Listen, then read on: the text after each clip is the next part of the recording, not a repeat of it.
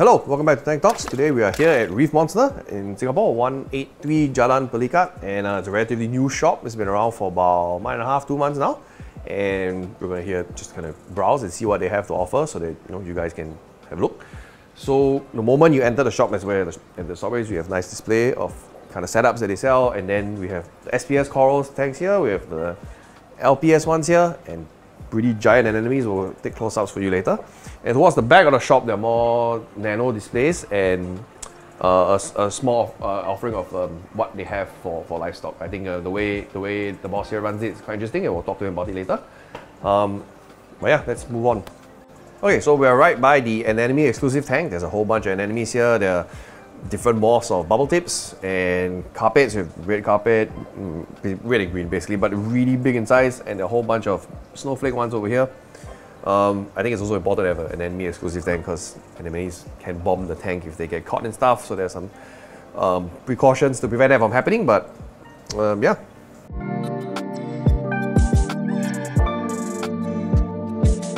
So right now we're here by uh, this nicely kind of set up uh, coral tanks. We have the SPS ones here and LPS over here.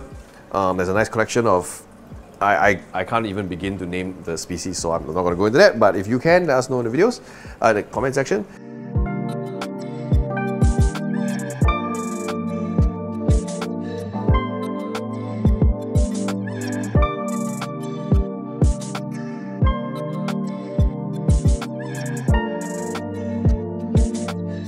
Um, on, in this tank, we have acans, we have black calls, we have zoas, cynarinas, gonios, and very nice looking pratas and trachys here. So if you're looking for some rainbows, I suggest you check this out. Pratas, I mean, not rainbows. Um, but yeah, the gonios are great too. I've, I have a couple of frags in my tanks are from here. So, and they're all healthy, um, pest free. So I, I recommend it.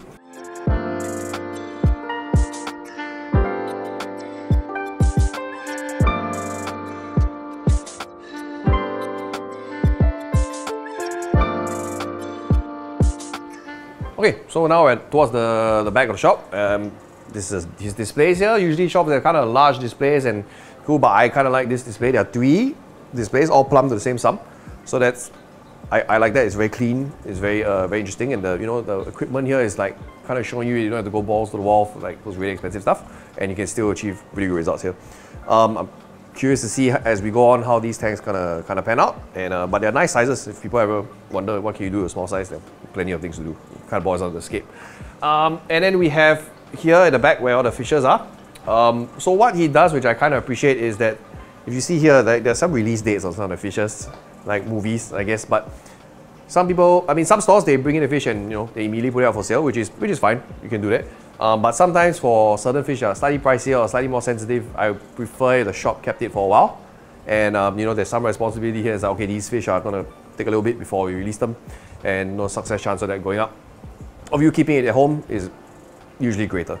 Um, but yeah, there are flame angels here, flame hawk, uh, there's a red sea sailfin, there's some talbot damsels, springeri damsels, and some powder blues. So um, I think there are more shipments going to be coming in over the weeks, so be sure to check in with the boss here and see what's what's what.